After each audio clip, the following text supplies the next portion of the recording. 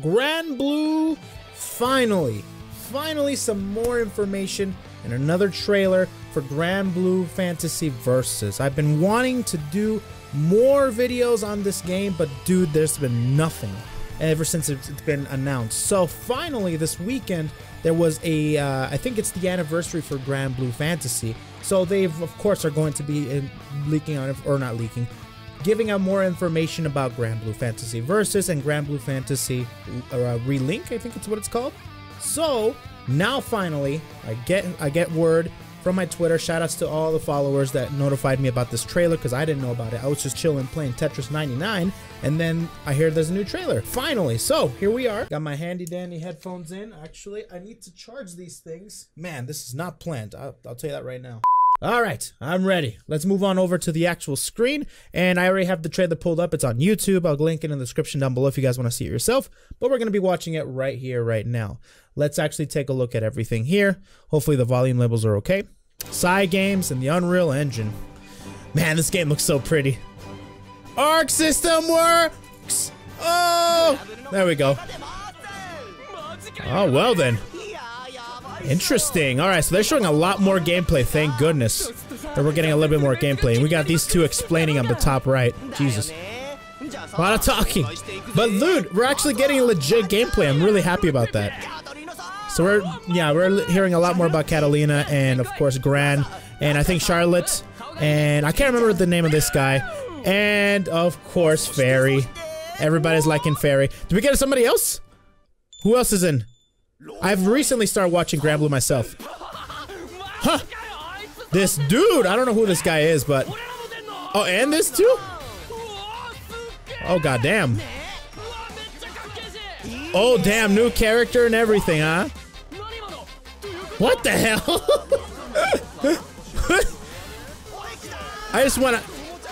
Damn, who are these two? So I guess these are a part of like a little guild or something. what? Oh! Grand summonings? Oh my god, there's summonings? Look at that. What? Wait a minute. Is that an actual playable character is that like a temporary thing? with every character. I need to see. Wait, wait. Is that special, especially for this character? Versus. Yeah. Oh, man. All right. What a trailer. Kerminshern. All right. 2019. Sometime this year, we're going to be getting Granblue, which is awesome. All right, I need to check out this trailer a little bit more. So, just to give my first impressions of what I think about the trailer, I don't know who the guy is. Uh, I still have to keep playing Granblue as much as possible so I can at least pinpoint out these characters that are going to be coming out. I don't know these two. I guess these are two are for comedic relief. It seems like very interesting gameplay. There's a lot of crazy things going on. Seems like he has items too, similar to like Pac-Man. And uh, these two are acting like a, some similar to like assists specific to that character. Uh, I have to take a look at who the actual what the name of the actual character is. But uh, one thing that really struck me as interesting is that there either that's a summoning that's universally known throughout the system, or that's specific to the character.